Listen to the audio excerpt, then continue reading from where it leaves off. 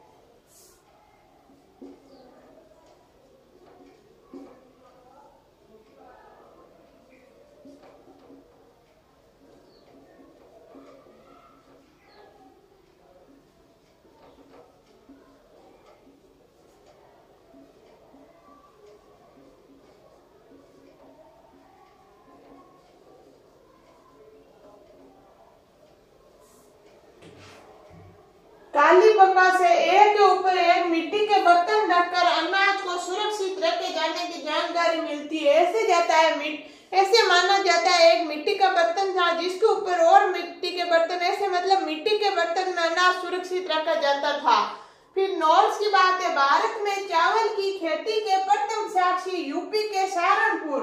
UP के सहारनपुर ज़िले में उल्लास नामक स्थान से मिली है। यूपी के सहारनपुर ज़िले में उल्लास नामक स्थान से भारत में चावल की खेती के प्रथम साक्षी मिले हैं। तो विद्यार्थियों इसका स्क्रीनशॉट लो फिर आगे चलते हैं हम।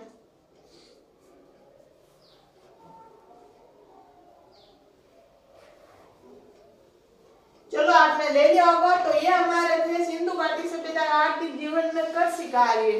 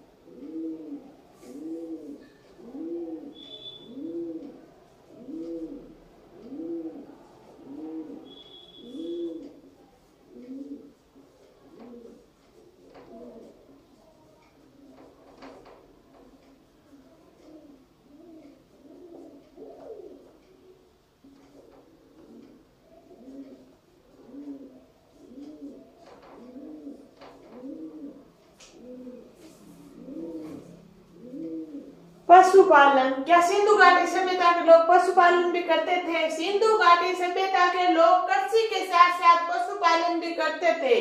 हाँ ऐसे माना जाता है, सिंधु घाटी के लोग कृषि के साथ साथ पशुपालन भी करते थे। यानी उनका आर्थिक जीवन जो अभी हमारा है, वही पहले था।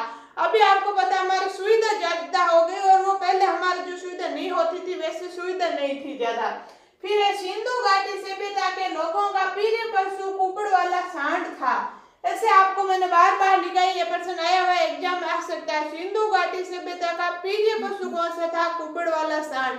तो सिंधु घाटी सभ्यता के मोहरों पर कौन सा पशु या कौन सी सांड था? तो वो था एक सिरंगी सांड, एक सींग वाला सांड था। फिर एक काली बंगाल से ऊँट की हड्डियों के अवशेष मिले हैं। काली बंगाल से ऊँट की हड्डियों के अवशेष मिले। हाथी का कपाल खंड मोहन जोदड़ो से मिला। हाथी का कपाल खंड कहाँ से मिला? मोहन जोदड़ो से। हाथी का अलकत खिलौना चंद उदड़ो से मिला। हाथी का अलकत खिलौना कहाँ से मिला? चंद उदड़ो से। हाथी पालने की जानकारी रोज दी से मिलती है। हाथी पालने की हाथी कौन पालते थे? रोज दी के लोग। तो विद्यार्थी इनका स्क्रीनशॉट लो, फिर हम आगे चल रहे मैं बोल रही हूँ, आप लिख लो। लिखो।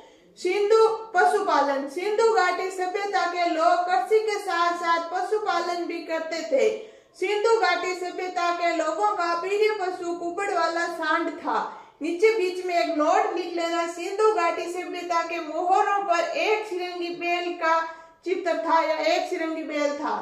काली बंगा से ऊँट की हड्डियों के अवशेष मिले। हाथी का कपाल खंड मोहन जोदड़ो से मिला। हाथी का अलकृत खिलौना चंद उदड़ो से मिला। हाथी पालने की जानकारी रोज दी से मिलती है या मिली है। विद्यार्थियों आपने स्क्रीनशॉट ले लिया होगा चलो आगे चलते हैं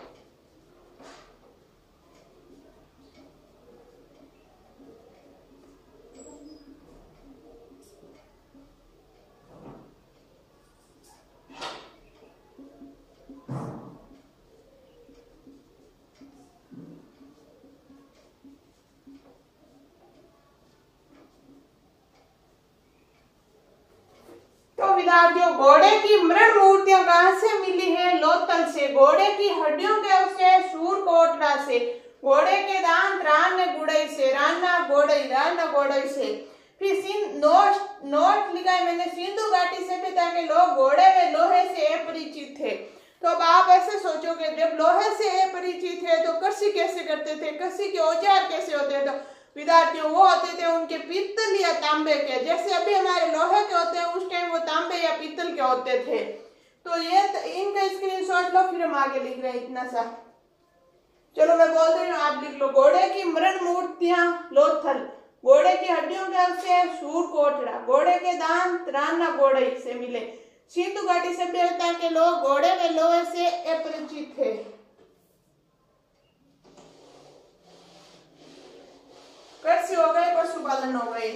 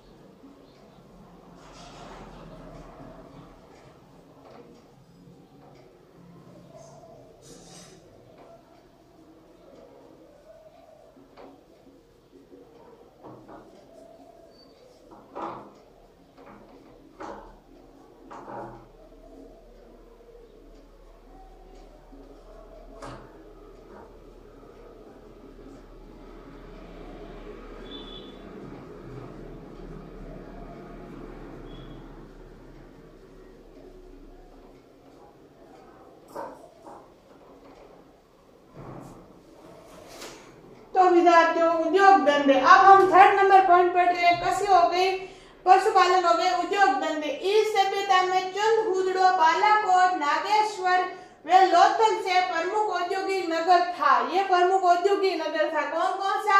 चंद हुदड़ो बालाकोट नाग, नागेश्वर या लोथल।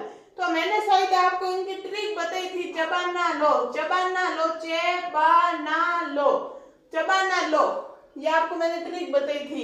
लोथल व चंद उदड़ों से मनके बनाने के कारखाने मिले थे। मनके मनके क्या होता था? हार। जिनको अभी हम ऐसे बोलते ना, ये हमारे जोधा हार है, वो फैंसी फैंसी बैठते न ओढ़ते वो वाला।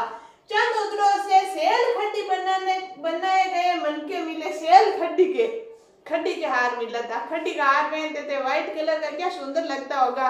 खड्डी का हार, अब हमें अब अभी हमारे मिलते हैं ना, जैसे हम गोवा जाते हैं गोवा जाते हैं तो हमारे होते हैं पत्थर के वो बहुत अच्छे अच्छे होते हैं वैसे कड्डी के होते थे खड्डी जन उदड़ों से सेल खड्डी से बनाए गए मनके मिले लोतल से सोने का मनका मिला लोतल से सोने का मनका भी मिला था तो ऐसा नहीं है कि पहले सोना होता नहीं था सोना होता था लेकिन वो खड्डी का भी होता था सिंधु घाटी सभ्यता में बालाकोट सीप उद्योग के लिए प्रसिद्ध था सिंधु घाटी सभ्यता में बालाकोट सीप उद्योग सीप का उद्योग के लिए कौन प्रसिद्ध था बालाकोट तो विद्यार्थी इनका स्क्रीनशॉट लो, फिर हम आगे चल रहे हैं। चलो, मैं बोल रही हूँ आप लिख लो।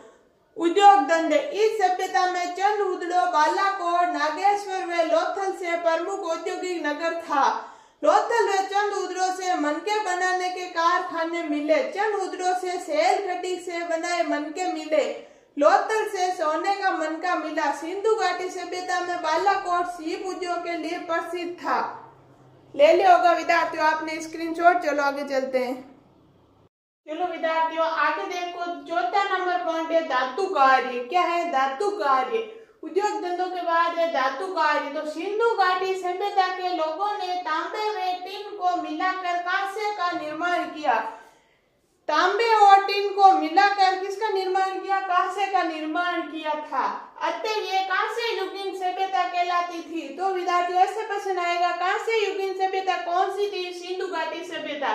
कौन सी सभ्यता? सिंधु घाटी सभ्यता, कांसे युगीन सभ्यता थी। फिर चंद हुदड़ों से तांबे से बनी इका गाड़ी मिली। चंद हुदड़ों से तांबे से बनी इका गाड़ी मिली। पीतल की इका गाड़ी हड़पा से मिली। पीतल से किसकी इका गाड़ी मिली? हड़पा से। सॉरी पीतल की का कहाँ से मिली हड़पा से फिर देमाबाद से कांसे का बना रथ मिला देमाबाद से कांसे का बना एक रथ मिला था खिलौना फिर काली बंगा से तांबे से निर्मित वृक्ष बेल की मूर्ति मिली कहाँ से काली बंगा से सिंधु घाटी सभ्यता के लोगों ने जिस प्रकार कांसे को बनाया इससे ज्ञात होता है कि उन्हें द्रव्य मौन विधि का भी ज्ञान था द्रव्य विधि का भी ज्ञान था किसको सिंधु घाटी सभ्यता के लोगों को। तो नॉर्थ सिंधु घाटी सभ्यता के लोग लोहे से अपरिचित थे। यानी वो तांबा यूज़ लेते थे, कांसा लेते थे, पित्तल लेते थे, लेकिन लोहा नहीं लेते थे। लोहे से वो अपरिचित थे, सिंधु घाटी सभ्यता के लोग। इनका स्क्रीनशॉट लो, फिर आगे चल रहे हैं। चलो मैं बोल रही हूँ, आप लिख लो। धातु कार्य, सिंधु घाटी सभ्यता के लोगों ने तांबे व को मिलाकर कांसे का निर्माण किया, अतः ये कांसे युगीन सभ्यता के लिए। चंद उदड़ों से तांबे से बनी इका गाड़ी मिली। फिर पीतल की इका गाड़ी हड़पा से मिली। देमाबाद से कांसे का बना रथ मिला। काली बंगा से तांबे से निर्मित वृक्ष बेल की मूर्ति मिली। सिंधु घाटी सभ्यता के लोगों जी, लोग सॉरी मैंने लोगों ने लिख हाँ लोगों नहीं है यहाँ, ने है बीच में। लोगों ने जिस प्रकार कांसे को बनाया, इसे ज्ञात होता है कि उन्हें द्रव्य मोम विधि का ज्ञान था। सिंधु घाटी सभ्यता के लोग लोहे से अपरिचित थे। आपने स्क्रीनशॉट ले लिया, लिख लिया होगा, चलो आगे चलते हैं। ये था हमारे धातु कार्य।